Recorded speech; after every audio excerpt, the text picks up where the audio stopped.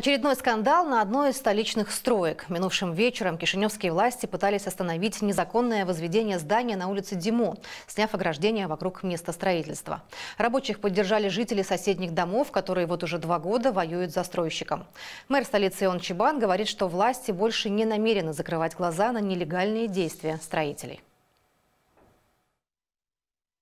Трогайте забор наш, пожалуйста. А вы, его незаконно поставили. Да. Есть авторизация. Да, конечно. Дайте авторизацию, если есть Когда вы авторизация. здесь выстраивали, нам руки ломали ваши Никто- работники. Слушай, вот ваш да. пистолет. Мы уже знаем это.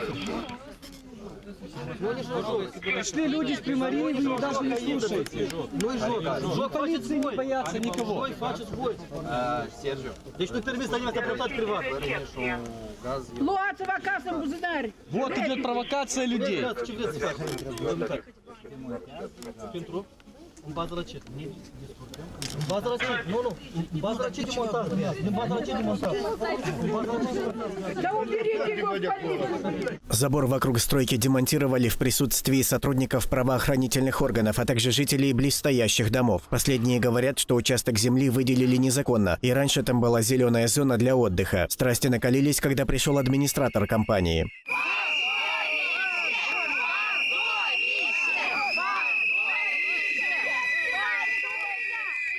Люди не ложились спать до утра, чтобы убедиться, что застройщик не возобновит работы. Мэр столицы Иван Чебан заявил, что расходы по демонтажу оплатит строительная компания. Ieri au fost acolo, pe lângă faptul că acel gard de protecție a fost scos, aduse peste 130 de mașini pentru a acoperi acel lucru pe care l-au făcut acești constructori.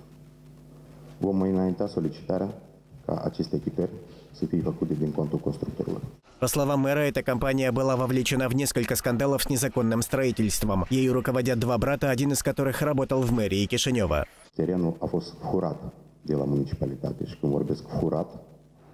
În vedere că nicio decizie a Consiliului Municipal, nici o decizie a instanței de judecată nu a fost pentru ca terenul care de fapt era spațiu verde, teren public, să treacă în spațiu privat. В связи с этим Чебан предупредил всех застройщиков столицы, что он больше не потерпит противоправных действий, допущенных до сих пор при выдаче разрешительных документов на строительство. Nu va mai fi la fel.